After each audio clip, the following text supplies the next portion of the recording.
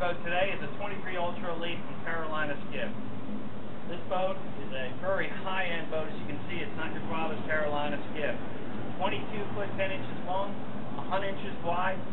Nice wide gunnels. I could parade around this entire perimeter if I wanted to. But we're going to walk you through some of the features of the boat and actually get some running shots today. You're going to enjoy this. Come on aboard. Let me walk you through some of the features right starting at the bow. So we'll go front to the rear and walk you through the boat.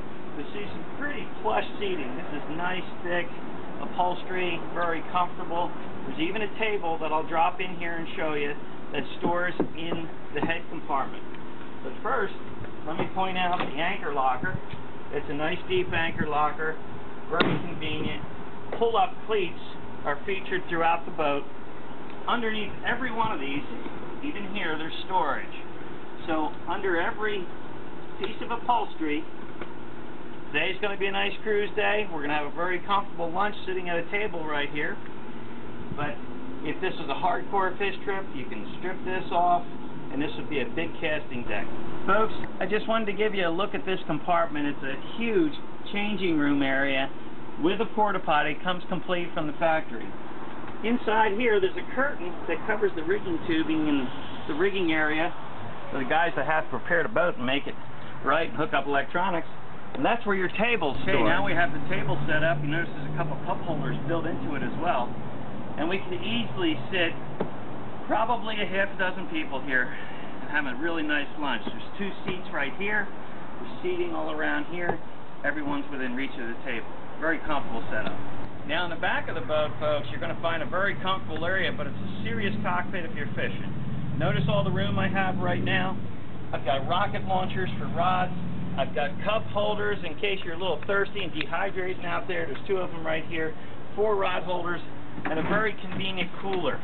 And by the way, this boat comes with two coolers from the factory with two coolers so you're really prepared. Very nice seating on the leaning post, but let me point out the back of the boat. There's a swim platform that's nice and high and dry. There's a larger integrated swim platform built in. Right here you have your live well. Down here is access to your batteries and other controls. Right here you have a built-in tackle center. Very convenient. You don't have to kick around a tackle box. Very easy to get to. Now I think the ladies are going to really like this one so are you guys too, because if your sunglasses get some salt on them, like we do down here in southwest Florida, look at this. You've got a nice little sink to rinse off, and it's there's a tank right here, very easy and convenient to fill. This boat does it all, and here's your seating right here. Your seating, you flip up like this, and boom. You got extra seating all the way across the back of the boat. If you could swing around here, let me show you You've got right here a high pressure washdown. This is raw water on this side right here, folks. That's raw water. Right here, you have a convenient shower. This is fresh water. So if you come on board and you want to get the salt off you, very convenient to wash the salt off. If it's a fish trip, this is a completely self-bailing boat sitting high and dry. You use the raw water to wash the blood and guts overboard and get her all cleaned up before getting back in the dock. Very functional. Come on up and let's look at the console. The console, this is a brand new boat. Obviously there's no electronics in here, but the console has a large area for installing today's large electronics. You could put a big 12-inch screen in here if you wanted to. This boat is equipped with a Suzuki. This particular one comes with a Suzuki multi-function gauge. So this gauge will do a lot of different functions, including your gallon per hour burn, so you don't need another fuel controller. Your switches over here are completely uh, labeled to show you which one's the aerator, which one's the live well, which one's the navigation lights, your It's equipped with it all. You also have on this boat a very nice setup from the factory. It's a Jensen Marine stereo that's equipped with an auxiliary plug-in. So if you have MP3s on your phone or you want to bring an iPod along, this will do it all for you. That's great sound through four speakers. This is factory installed you're going to enjoy this boat. You'll notice this boat is also equipped with another option. The electronic trim tabs help get that bow down and get this boat on plane very quickly. It's important on a bay boat because generally you're skinny water fishing. The boat only has a 12 inch draft. It has a nice relief pocket and we mount the engines nice and high to take advantage of that shallow draft. What we would recommend, and it's your option, is also putting a jack plate on there and you get full advantage of the shallow draft of this boat. It's only 12 inch draft and that's with a heavy four stroke engine. They rate it 9 to 12 inches depending on what motor you put on.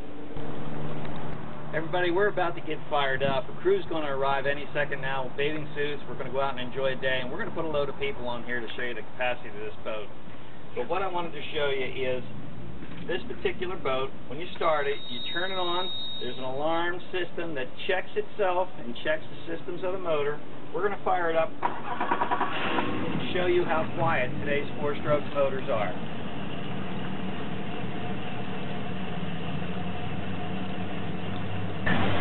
Okay everybody, I want to show you the uh, multi-purpose gauge from Suzuki.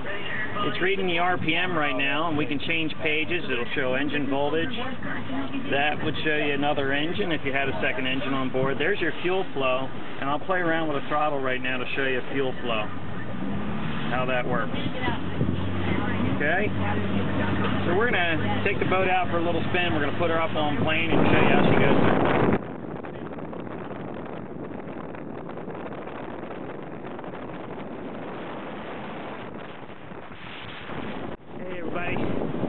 Just wanted to give you an idea of the stuff this boat will deal with. We're out in the Gulf. It's a little dicey today. We are the only boat here. Uh, have shown up after us, much larger than us.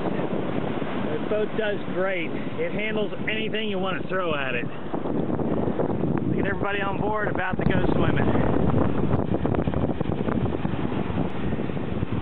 Not everybody wants to take it on today, but the Carolina Skiff is doing well.